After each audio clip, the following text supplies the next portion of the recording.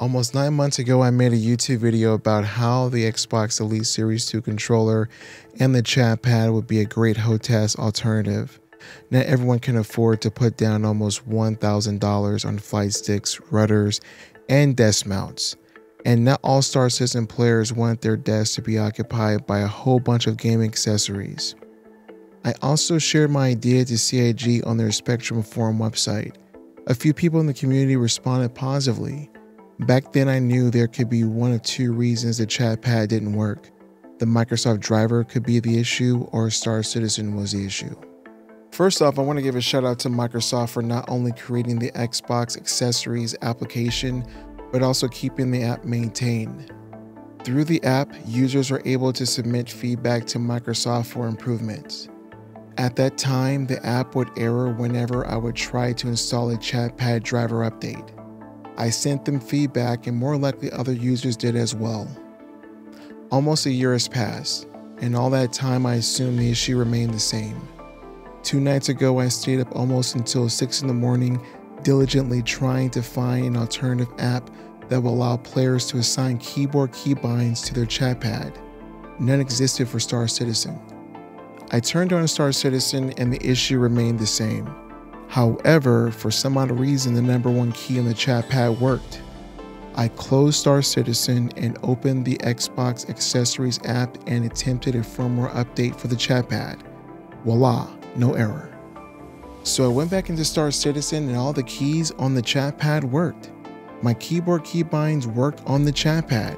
Ladies and gentlemen, if you survive this long prologue, you now know you can use your Xbox Elite Series 2 controller and chat pad in Star Citizen.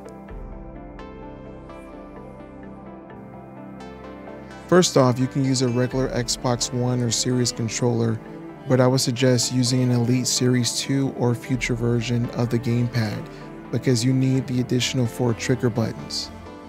This video is for people who are using a genuine Xbox controller and chat pad because the drivers may only be compatible to Microsoft products.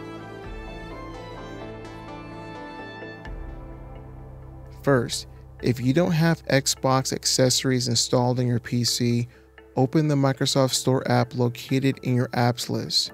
Once open, search Xbox accessories in the store. Install it and open it you might have to sign in your Xbox account. I'm not sure if it's required, but make sure you install the Xbox application as well and sign in there. Maybe you only have to sign in once between the two apps. Make sure your genuine chat pad is connected to your genuine Xbox controller and connect all of it to your computer via USB.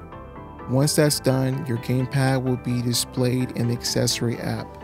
Below your gamepad, the left button with the three dots called More Options, click on it. You will see a rectangle below your gamepad that says What's Attached Xbox Chatpad. Click on it.